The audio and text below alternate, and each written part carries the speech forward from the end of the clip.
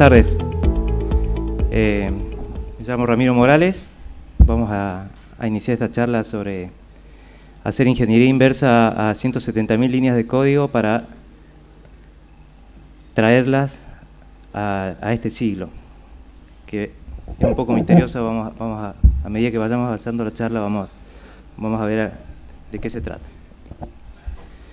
Bueno, comenzamos haciendo una mini encuesta que a veces suele convertirse en, guerra, dependiendo de, del carácter de, quienes estén reunidos.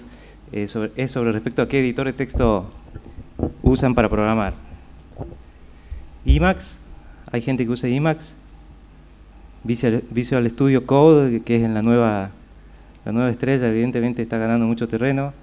Eh, Sublime Text, algún pago como Vivi, Edit, puede ser, y o, eh, ¿cómo se llama el otro? El de Intelli, IntelliJ. ¿Perdón? PyCharm. ¿Hay alguien que use PyCharm? Uh, está bastante peleado. Vim. Bien, hay gente de Vim. Bueno, eh, como la charla es sobre documentación, enfoquémonos en lo que es documentación de, cada uno de, o por lo menos de algunos de ellos. La documentación de IMAX en el, sitio web del proyecto, eh, se puede ver un poquito, digamos, el, estética y visualmente cómo es. Visual Studio Code, también bastante, bastante interesante en lo que es la presentación. Sublime Text, quizá un poquito menos porque tiene menos, menos semántica, menos, menos linkeado entre los distintos eh, artículos, para, de manera que si uno está aprendiendo o está siguiendo la referencia de uso o el manual de usuario, es, un poquito menos interactivo que, que los otros. PyCharm, ahí está el que no me acordaba el nombre, también tiene lo suyo. ¿Y qué pasa con BIM? Esa es la documentación de BIM. Otro ejemplo que es lo mismo, pero vía web, en, un sitio web de un tercero que hace una conversión eh, a HTML manteniendo las propiedades. Es triste, digamos, ver que la documentación de BIM, a pesar de que funcionalmente es muy, muy, muy completa, muy,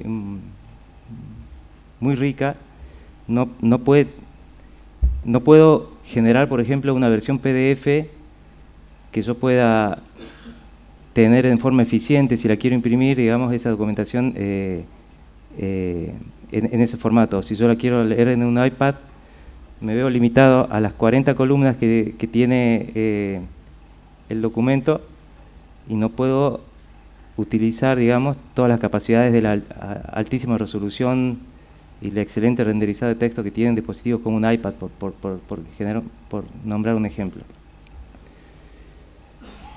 ¿Qué pasa con NeoBeam? Que es este, una reencarnación de BIM reciente de los últimos años se vende el proyecto como el, literalmente el futuro de BIM por todos los cambios arquitecturales que está haciendo en, el editor de texto. Eh, así que uno quisiera creer que también eh, quieren, querrían atacar este, este, este aspecto, ¿no? el de mejorar la documentación. Eh, hay un ticket abierto en, el, repositorio del, del proyecto que está abierto hace casi cinco años, cuatro años y medio, en el cual proponen reescribir la documentación en algún formato que ya vamos a ver de, qué se trata, que permita que después se pueda generar la salida de una manera que nos libere de esta, de esta forma particular que tiene BIM de mantener su documentación, que, es, algo sobre lo que vamos a hablar en esta charla. Lamentablemente ese ticket está abandonado porque el, tamaño o la dimensión del, trabajo que significaría hacer eso, esa, conversión es lo que hasta ahora nadie ha, intentado atacar. ¿Qué es lo que tiene BIM o qué es lo que tiene la documentación de BIM? Es que es realmente muy bien documentado. Me animaría a decir que de todos los editores que, hemos visto, inclusive he estado leyendo los, los PDF de PyCharm, no, eh, es, la, es la mejor. Eh, es totalmente, eh, cubre totalmente el, uso del, editor cada vez que se agrega un, o se modifica un feature en el editor, se, modifica la documentación de manera acorde, tiene una guía de usuario muy completa para el que quiera aprender a usarlo y tiene una sección de referencia donde está documentado todo, todo, todo. Eh, los keystroke, las combinaciones de teclas, las opciones que, se pueden setear, que son ya de por sí son centenares, eh, esto es muy completo. Eh, está fuertemente cross-linkeado, o sea que uno puede ir, a medida que va leyendo sobre un concepto, eh, el, artículo tiene muchas, muchas referencias a otros lugares de la documentación, de manera que uno se puede ir moviendo fácilmente, aunque lo hace en la consola, digamos, usando, usando el visor de ayuda interno de BIM, eh, eso funciona como si fuese un pequeño browser web, digamos, para, para, para ir saltando y volviendo hacia atrás, etc. Eh, algo que no, que no, que no, no, puse énfasis respecto a en la filmina anterior es, ahí, ahí, está la cantidad de líneas, que por eso el título de la charla son 174.000 líneas de texto, lo cual nos da una idea del volumen de, de documentación que tienen y toda generada a mano, porque realmente no hay ningún proceso de generación de... Lo que pasa es que BIM es un proyecto que, tiene un par de décadas por lo menos, ¿no? Así que en todo ese tiempo ha acumulado esa cantidad de, de documentación. Y eh, acá, cuando hablamos, decimos que es fuertemente cross-linkeado, eh, en ese archivo tags que está en la documentación, es donde eh, hay un, pequeño script que genera como una mini base de datos de, todos los enlaces internos que existen dentro de la documentación. Bueno, hay, hay casi 10.000 entidades a las cuales se puede hacer link, digamos, cuando uno está leyendo la documentación.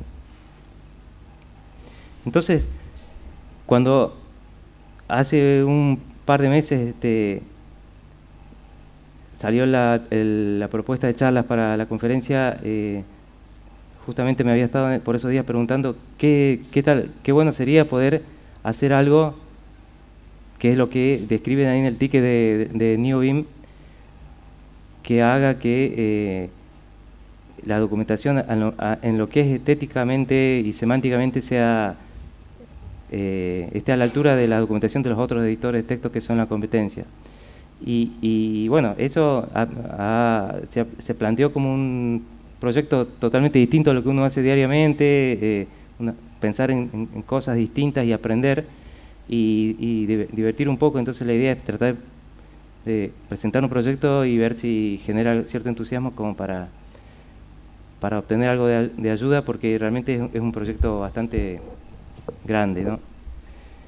Eh, no, no, no solamente, algo para aclarar es que no solamente es para por el hecho de, querer que se vea bonita la documentación como, como en los otros editores, sino que esto después se descubrió que eh, implica, poder este, hacer que semánticamente sea eh, que tenga otro significado semántico, digamos, la representación de la documentación, lo cual ayuda, digamos, en definitiva a esto que decíamos de poder este, brindarles múltiples canales, digamos, de, presentación luego, ¿no? O sea, en esto que hablamos de un de PDF, de poder leerlo de una aplicación móvil, algo que actualmente, por cómo es el formato, es, un poquito, no imposible, pero difícil.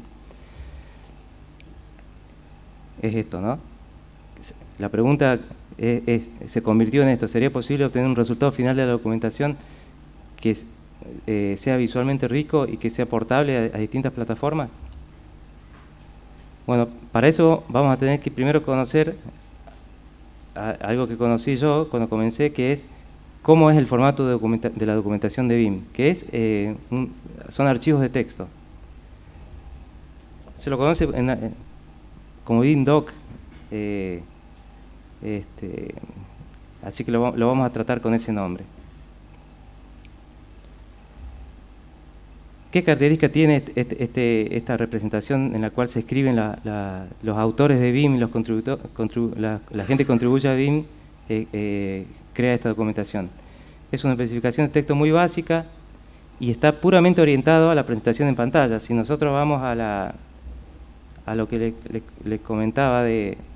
Fíjense que, fíjense que eh, eh, mm, son 80 líneas de... Perdón, creo que hace rato dije 40. Son 80 líneas de, ancho y se adapta, digamos, toda la escritura del texto de, todos los archivos de documentación de BIM se adaptan de manera que se pueda leer, digamos, con una consola de 80 caracteres de texto en la plataforma que, a uno se le ocurra, ¿no? Es este algo que se tenía en cuenta en, las épocas que nació BIM, digamos que eh, las plataformas que existían eran los Unix un poco antiguos, no había capacidad ni siquiera de tener un entorno gráfico.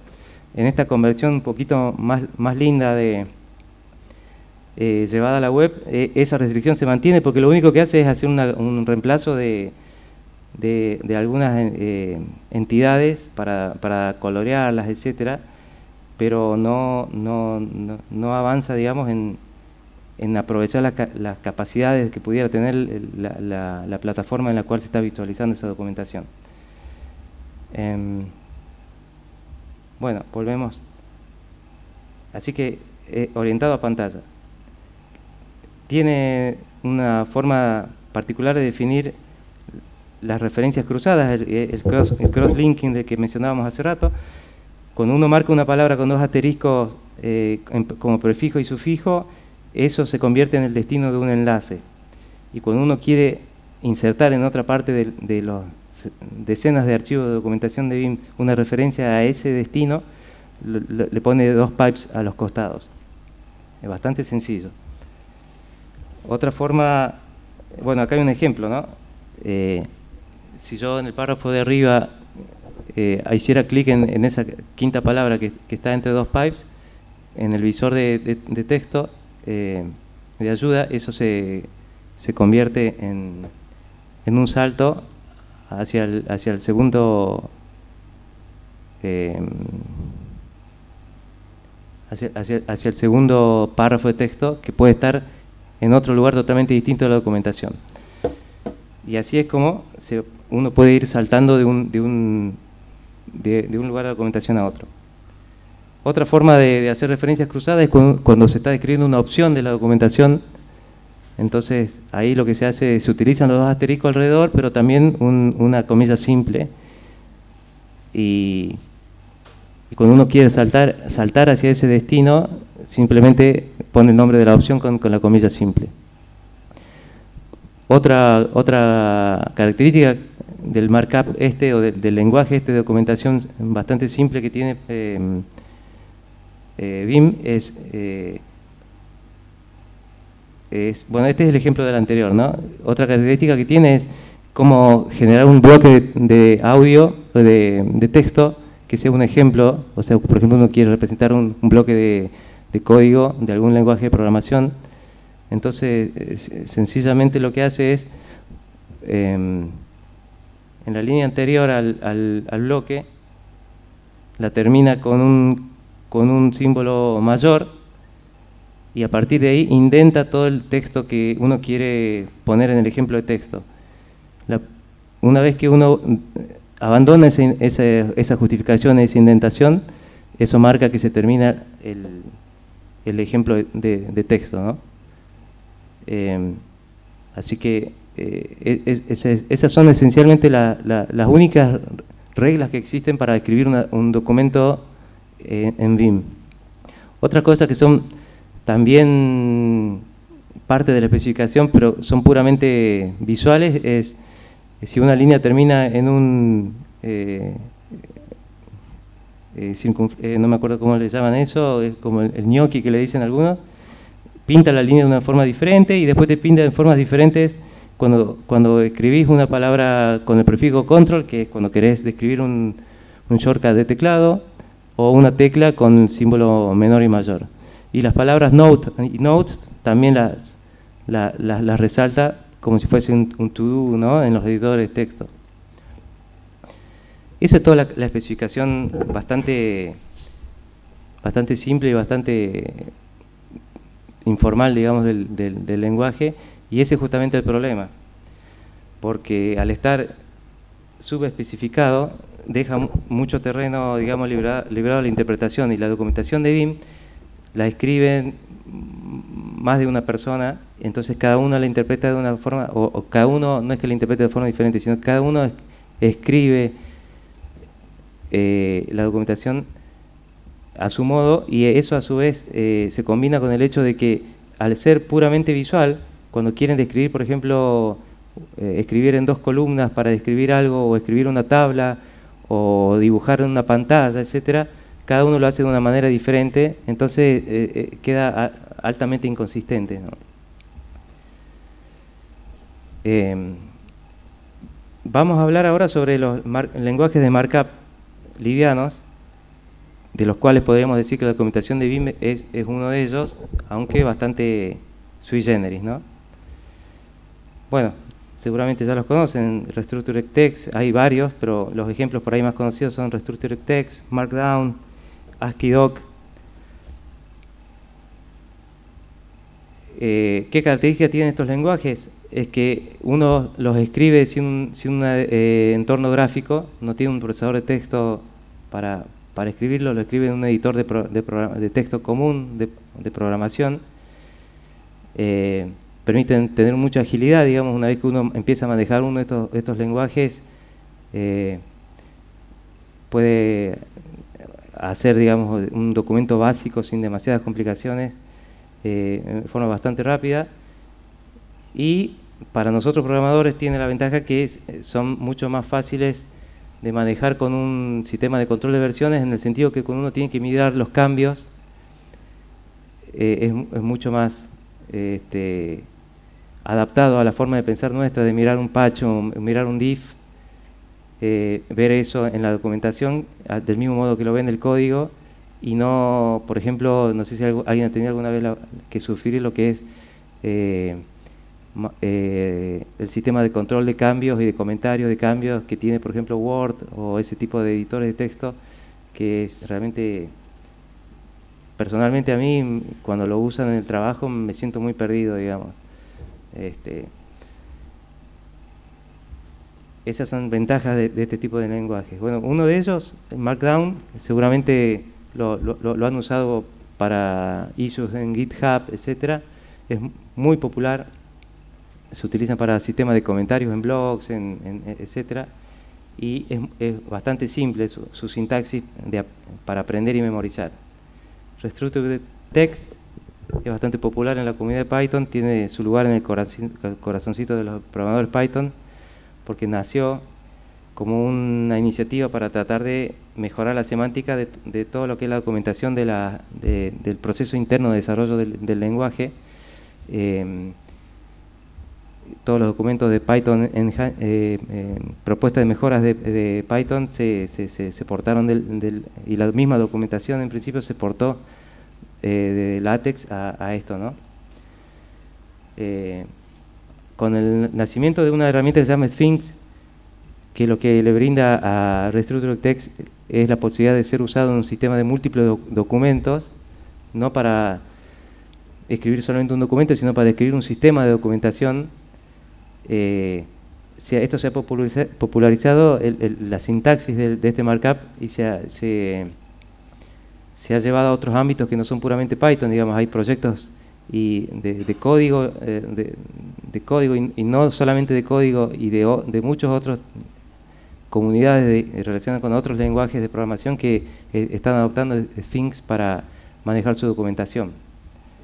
Así que esto ha, hecho que este, e, este lenguaje de markup sea bastante popular y lo que tiene de bueno es que a diferencia de, de Markdown está estrictamente especificado. O sea, hay una documentación que dice cómo, cómo uno tiene que escribir y por ende cómo un intérprete tiene que, un programa intérprete lo tiene que leer para, para poder este, implementar, digamos, las distintos features del, lenguaje. Otro, Otro, lenguaje de, markup liviano es, ASCII-Doc, que sorprendentemente ya tiene 16 años. También fue creado por un programador de Python. Eh, la herramienta original está programada en Python y es bastante completo. ASCII-Doc consta de dos partes. Una es la especificación del formato y la otra es la herramienta que se usa para, tomando ese código fuente escrito según la especificación del formato, poder convertir, eso es algo que este proyecto tuvo de bueno, que hace bastantes años ya permitía que uno pudiera generar salida a múltiples formatos de muy buena calidad en HTML, en PDF, en, DocBooks para después llevarlo a otro tipo de, de, formatos eh, de, muy buena calidad. en ese sentido es algo que otros proyectos mm, lo han logrado más recientemente. Es quizá un poco desconocido, pero eh, se, usa, por ejemplo, para lo que es la documentación de Git, todo cuando ustedes hacen eh, man Git o piden la ayuda de un comando Git en la línea de comandos, si lo hacen en, Linux, les aparece un, archivo de texto que es resultado de una renderización a texto eh, de un código fuente que está escrito, de esa documentación que está escrito en, en ASCII-Doc. Y si lo hacen en Windows, con Git for, Windows, no les abre un texto, sino que les abre un, browser donde está la, ayuda de ese comando en, una, renderización HTML de la ayuda. Otro uso que se le, dio muy brevemente fue una iniciativa eh, de los desarrolladores del kernel de Linux que empezaron a ver que, ya les, era necesario hacer algo similar a, la herramienta de Oxygen, pero muy al modo de ellos, que siempre inventan su forma única de trabajar, que es empezar a agregar meta información a los comentarios del código fuente C para poder después este, eh, poder generar eh, documentación más, más legible del código.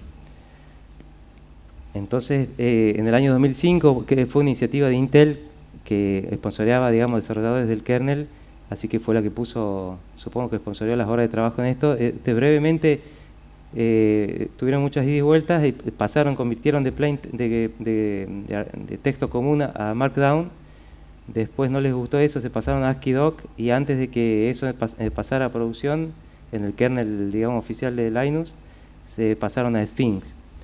Así que ahí también estuvo, estuvo en uso el, markup este. ¿no? Hay, un problema digamos, con la herramienta ASCII-Doc que está que eh, hace cinco años que está abandonada. no, logré averiguar qué es lo que pasó porque el autor que es un neozelandés eh, no, la mantiene más. Pero lo que está abandonado es la herramienta, digamos, la especificación, afortunadamente, eh, sigue viva porque hay otro proyecto que se llama ASCII Doctor, que es el que toma la, posta, digamos, sobre, sobre eh, trabajar sobre esta, esta, esta, esta, este toolchain, ¿no? Es el sucesor oficial, está programado en Ruby y eh, es el, sucedor oficial porque el, autor de ASCII, Doctor, eh, ASCII eh, efectivamente ha declarado que le pasa el control de lo que es la especificación del lenguaje de markup a, los autores de ASCII Doctor. Así que ellos son los encargados de mantener la compatibilidad, digamos, y, solucionar los problemas que tuviese la, especificación anterior y a su vez ir, haciendo que, eso crezca, digamos, agregándole más features. Algo que tiene bastante interesante que también y, que está bastante movido porque es un proyecto muy activo es que tiene bindings para, Java en el caso que uno necesite este, manejar documentación de este tipo desde Java y hay una implementación completamente full featured en JavaScript de manera que uno también lo puede usar en Node o incluso hacer eh, interpretación y renderizado de ASCII-Doc en, totalmente en el browser, para quien tuviera esa necesidad. Bueno, vamos a, hablar de mm, lo que es la legibilidad versus los features, que es esto, al tratarse de lenguajes de markup livianos que están basados puramente en, escribir con un editor de texto común texto, y por eso se llama de markup, porque uno le va agregando símbolos y, etiquetas y, convenciones, digamos, de, escribir texto adicional a nuestro contenido, que son las que le van dando el contenido, el significado semántico, digamos, para poder este, hacer que eso después se convierta en un formato rico de documentación. Entonces ahí vemos que es como que hay una tensión natural entre las dos cosas. Yo por un lado necesito que sea legible para no perderme y para quien lea el código fuente de esa documentación no se pierda entre, entre muchos símbolos, pero por otro lado necesito features para poder implementar cosas como tablas, tablas anidadas, eh, notas para el lector, eh, todo lo que uno necesita cuando necesita preparar un documento técnico que no es lo mismo que escribir una prosa o escribir un, issue en, GitHub, donde quizá lo más complicado que tengamos que escribir sea un, ejemplo de texto y una tabla simple. Entonces, en todos estos lenguajes de, markup livianos están permanentemente eh, tomando decisiones de diseño respecto a, mantenerse en el equilibrio entre estas dos, entre estas dos cosas, la legibilidad para los autores y los features que necesitan esos autores y los lectores para poder este, decir, bueno, este lenguaje es, adoptado por, por, más gente. ¿no? Markdown, el autor, eh, eh, Group es el apellido, creo que son Group, él, eh, por, por, diseño, una decisión de diseño es, es solamente se implementa lo que sea necesario para que eso se pueda convertir en HTML y no, no más que eso. Y le, da mucha importancia la legibilidad del código fuente. Así que desde ahí ya marcó la, cancha. Entonces cuando la gente empezó a, usar Markdown. Y después, una vez que ya se había acostumbrado a usarlo, empezó a, ver que necesitaba implementar cosas más complejas con el, con el, con el lenguaje, empezó una, una, diáspora de proyectos que modifican el proyecto eh, Markdown original y, vemos el, el, Markdown con sabor de GitHub, que es el que se utiliza cuando uno escribe eh, pull request y issues en GitHub. Como Mark es un intento a una estandarización en la cual participan muchos autores de las diferentes forks que hay de Markdown. Eh, y después hay otros, otros más, uno que está eh, orientado a, que se convierta en un sistema de, con el cual uno puede escribir un libro formado de múltiples archivos, código fuente, etcétera. Eh, pero ninguno de ellos, digamos, ha, logrado un objetivo de, que se convierta en una herramienta con la cual uno puede escribir un documento realmente técnico, realmente complejo, y, bueno, y lo que han logrado es que exista una, gran este, diáspora, digamos, de, gente y que cuando uno se sienta en un sitio web, en una aplicación web a escribir Markdown, realmente no sabe cuál es la sintaxis que, que tienen que usar porque no sabe cuál es la que, la que soporta ese sitio, ¿no? Y tienen que leer la documentación de, de, cada sitio o de cada herramienta. Bueno, la conclusión a la que, a la que yo llegué, digamos, haciendo ese análisis del lenguaje Markdown es que no nos sirve para representar, representar la, la alta complejidad de la documentación de BIM. Esa es una hipótesis, ¿no? ¿Qué pasa con Restructure Text? Este, eh, como decíamos, está bueno porque a diferencia de Markdown está fuertemente especificado, tiene más features, pero lamentablemente todavía se queda corto en lo que es este, documentación compleja, digamos.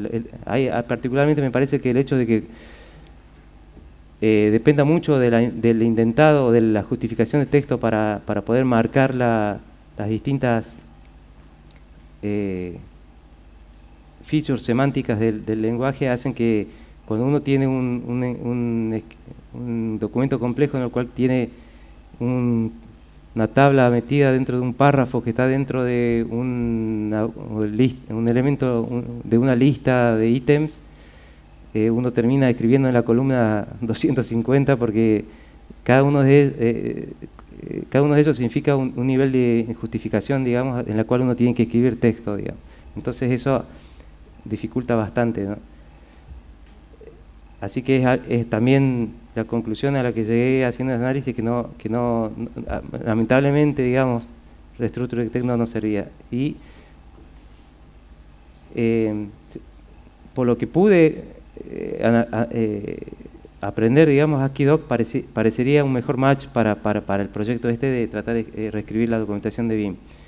¿Por qué? Porque por diseño AskiDoc se, creó, la especificación de AskiDoc es que sea un mapeo directo de todas las características del lenguaje de DocBook, que es una especificación bastante seria y bastante voluminosa sobre cómo escribir un documento técnico complejo, realmente complejo, de, un nivel arbitrario de complejidad si uno quiere, un manual técnico con eh, XML.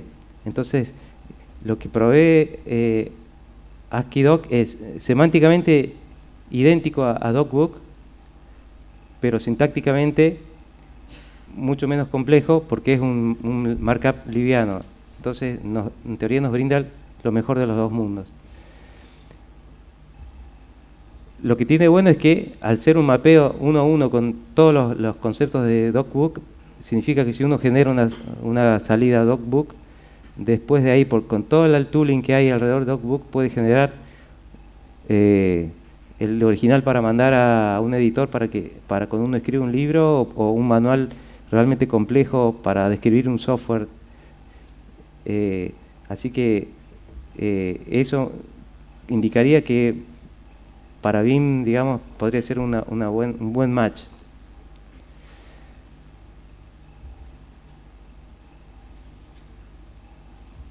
Bueno,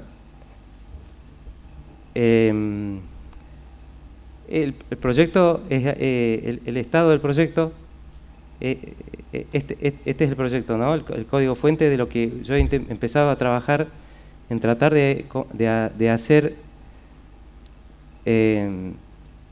una conversión de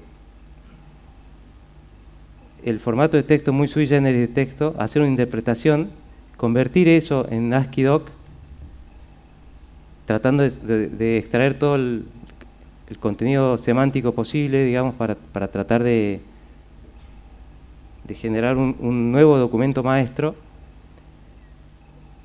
Eh, y a partir de eso poder generar salidas como las que veíamos en, los otros editores. ¿no? Entonces, eh, este es un ejemplo de, un, de una salida generada ya en HTML con, con la herramienta eh, es muy complejo.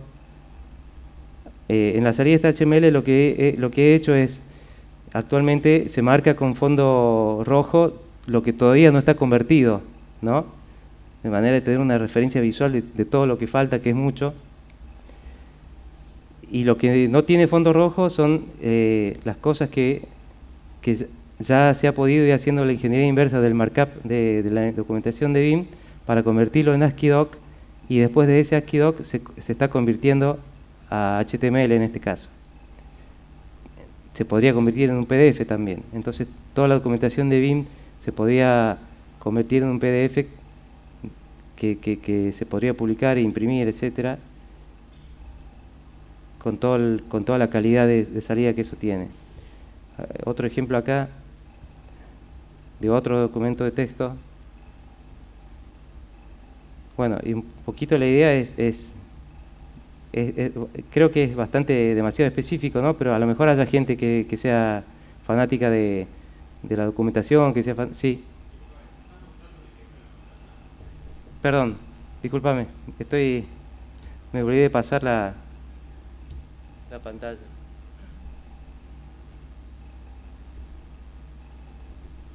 Ahí está. Disculpame, no, menos mal, que me hiciste a ver si...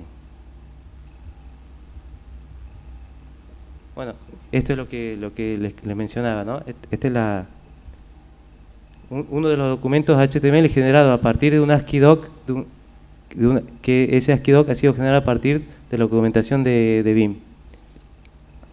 Lo que decía, todo lo que está en fondo rojo es todavía lo que falta convertir y ahí estamos viendo incluso más ejemplos de, cómo es la, el formato de BIMDoc. Acá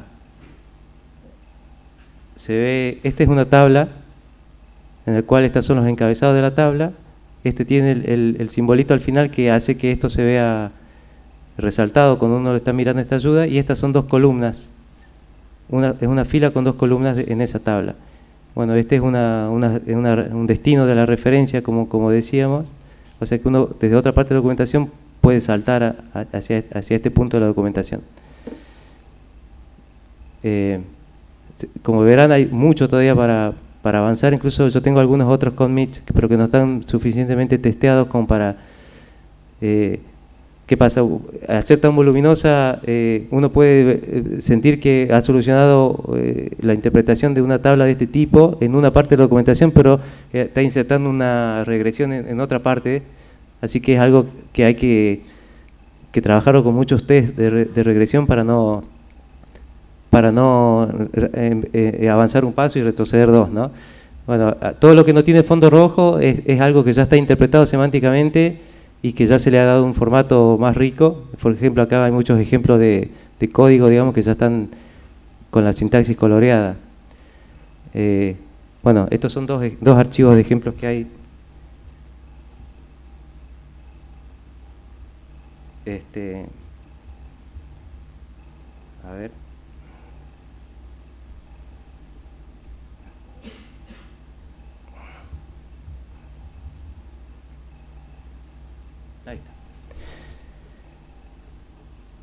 Desde, ya es tan inconsistente, digamos, y tan, tan eh, monstruosamente grande la documentación, que uno mirando un poquito la, documentación de BIM se da cuenta que no todo va, no va a ser posible convertir todo en forma automática con, una herramienta como la que, eh, como la que le, estoy presentando. Va a haber que hacer mucha conversión manual. el desafío es tratar de reducir esa conversión manual que va, a ser tediosa a, lo mínimo posible, a lo mínimo posible, ¿no? Así que bueno, toda ayuda es bienvenida y, sobre todo con ideas, ¿no? Eh, por ahí un par de ideas sueltas que, se, le ocurre, se me ocurre es que ahora estamos haciendo una conversión del formato de documentación de BIM a ASCII doc directamente y a lo mejor lo que estaría bueno sería crear como un árbol de la sintaxis en la cual uno puede ir anidando en lo que sea, en JSON o en XML, etcétera, todas las entidades. Entonces uno puede decir, para el ejemplo que mencionaba, si tengo una tabla dentro de un párrafo que está dentro de una celda, de, de otra tabla que está dentro de una lista enumerada, poder representar todo eso en algún formato que sea abstracto, que no esté casado con ningún lenguaje de markup y después sobre eso da la posibilidad de, generar o ASCII doc o algún otro, algún otro eh, renderizado, digamos, de, esa, ese, de, ese, árbol. Y la otra idea sería hacer un, un round trip completo. Es una vez que uno lo tiene tiene todo el código fuente de esto convertido a ASCII o a, o a lo que, o a un AST como este que, que, mencionaba recién, poder generar ya sea un, renderizador de eso que lo vuelva a convertir en la sintaxis de, documentación de BIM, pero eh, la ventaja que tendría eso es que ya sería un, más consistente en, en, sí mismo y, y, mejoraría digamos, la, la, la presentación, digamos, me parece a mí, respecto a lo, a lo que hay ahora, digamos. Y a lo mejor eso sería posible, un posible argumento de venta, digamos, para proponer que BIM adopte y, los autores de la documentación de BIM empiecen a, descubrir, a describir la documentación en un lenguaje eh, más rico que el, que están usando ahora, que es lo que justamente hacen todos los demás proyectos, digamos. Si uno mira el código fuente de la documentación de IMAX, es un lenguaje, es TextInfo, que es un abuelo, digamos, de, eh, puramente un abuelo de todos estos lenguajes de markup livianos que existen ahora, pero que se inventó hace 30 años, ¿no? Eh, eh, lo inventó Stallman con, otro tipo, digamos, del proyecto GNU. Entonces, este segundo ítem me parece que debería ser, porque es, seguramente que el resultado final de la documentación de BIM, el autor de BIM no lo va, no lo va a querer cambiar, pero la idea sería tratar de, proponer que el, código fuente maestro, digamos, de la documentación se, genere, digamos, en, algo que sea más, más moderno. Eso es todo, pero bueno, le quería mostrar algunas cositas respecto a, por ejemplo, a ASCII-Doc, que esto lo, debería haber mostrado antes. Este es un ejemplo de ASCII-Doc, esta cajita gris que está acá. Cómo es el markup. Incluso ASCII-Doc dicen que es un, eh, una extensión, un superset de la sintaxis Markdown. O sea que si uno procesa Markdown con las herramientas de, de ASCII-Doc, puede obtener una salida válida, digamos. Este, este, este texto, cuando uno lo, procesa con una toolchain, se convierte en esto, en, docbook. Fíjense la diferencia en, verborragia que hay entre, entre las dos. Y eso es algo importante porque uno no pierde nada de riqueza de la que brinda DocBook al escribir el código fuente en ASCII-Doc, pero es mucho más legible, mucho más semántico y mucho más fácil de mantener. si yo quiero cambiar eh, de lugar esta, este, esto y ponerlo quizá acá, más fácil hacerlo para un programador en su editor de texto acá con ASCII-Doc que tener que mover y, hacer tracking visual de, de, su equivalente en, en XML de DocBooks, ¿no? Bueno, y acá es un poquito un contenido de venta de, de ASCII Doctor, que la documentación es muy muy buena, donde nos va contando todos los chirimbolos, todo el markup que uno le, eh, va escribiendo en ASCII Doc y cómo se ve cuando uno lo renderiza en HTML. Bueno, este no es nuevo para quien haya manejado markup, eh, Markdown o Restructure Detect. Fíjense cómo se pueden ir implementando todo. Descripciones, acá está el formateo inline, negrita, itálica y todas sus combinaciones, texto monospaciado, enlaces, tiene muchísimo, muchísima, muchísimos features. Tiene más de 20.000 tests para evitar, digamos, problemas de regresión, y está activamente mantenido, lo cual es, muy bueno. Lo, lo, único por lo cual no, eh, alguien no quisiera usarlo, a lo mejor sería porque está, está escrito en Ruby, pero yo para, para el proyecto de esto con Bundler, que es una herramienta de, Ruby, eh, eh, con tres comandos estoy ejecutando la última versión de, de ASCII Doctor sin, sin tener ni idea de Ruby y de, todo su, su tooling. Así que eso está bastante bueno. Em, bueno, eso, eso, eso sería la charla. No sé si alguien tiene alguna, alguna pregunta o alguna idea. quería preguntar, eh,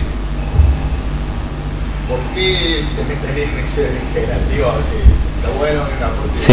grande de la comunidad, pero o sea, sí. la motivación? ¿Qué se guay? Es lo que comentaba al principio, no, es muy sexy, cuando uno lee documentación por ahí, normalmente uno tiende a huir. Eh, me, pareció un, una cosa divertida de probar. Y después cuando, empecé a aprender sobre todo esto que un poquito quise contar en la charla, me, pareció que a lo mejor podía ser un proyecto a lo cual a otra gente se pudiera aprender, digamos, por, más que nada por, hacer algo distinto a lo que uno hace diariamente, digamos, eh, eh, por ahí manejar otros conceptos, ¿no? de, otras cosas. Y aprendió, había aprendido bastante, y, pero esencialmente por diversión, digamos. ¿no?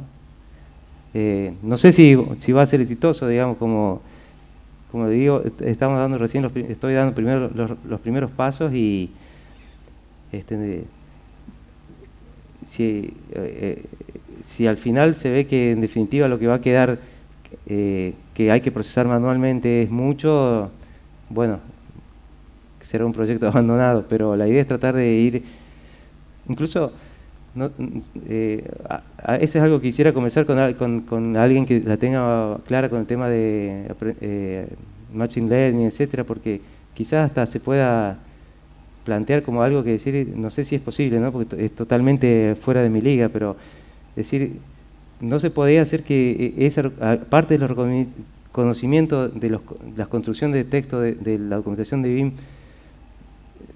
se, se reconozcan automáticamente con algún proceso, digamos, que diga a la cual uno puede entrenar, diga, mira, este bloque de texto es un párrafo con un título y una, y una tabla de dos columnas y tres líneas.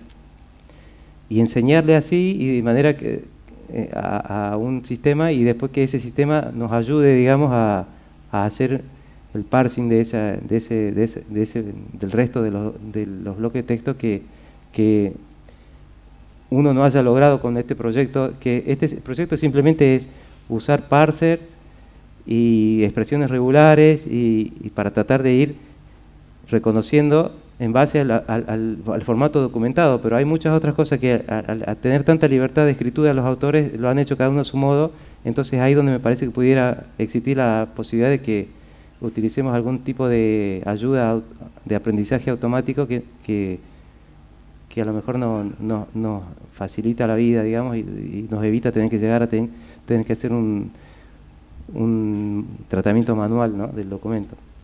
No sé, ese es algo que lo tengo que hablar con alguno de los genios de, las otras charlas. ¿Alguien más? Bueno, muchísimas gracias. ¿eh?